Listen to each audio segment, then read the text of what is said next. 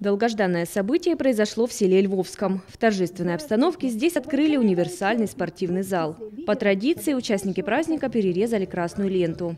Почетными гостями стали глава Северского района Адам Джарим и депутат Законодательного собрания края Андрей Коимжиев. Мы специально приурочили к сегодняшнему дню открытие спортивного комплекса. Долгое время мы строили, к сожалению, были какие-то моменты, но наконец-то комплекс построен, и вы видите, что он соответствует всем требованиям. Ярким танцевальным номером гостей удивила студия эстрадного танца «Феникс».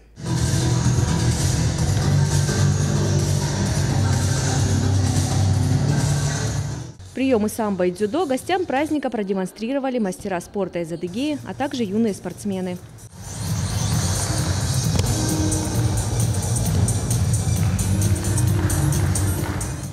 Строительство спортзала шло не по графику, но в итоге зал сдали с учетом всех норм и требований.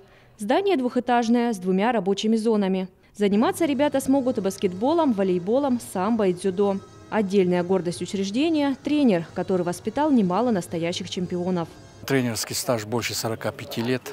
Я, ну если самый большой, я заслуженный тренер России, заслуженный тренер Адыгеи. Среди моих воспитанников есть чемпионы мира, которых вы видели, чемпионы Европы, множество чемпионов России. Более 30 мастеров спорта я воспитал, два мастера спорта международного класса. И я очень рад, я очень доволен. Здесь учащихся учеников очень много. Я думаю, что среди них выйдут в будущем хорошие спортсмены. Но не самое главное спорт.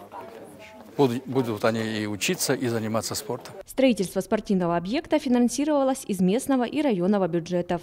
Мы вообще очень рады тому, что у нас появился такой комплекс в нашем поселке, что у нас есть возможность а, теперь заниматься, водить детей на какие-либо секции. Мы вот, а, хотим очень записаться на борьбу, возможно, прямо сегодня.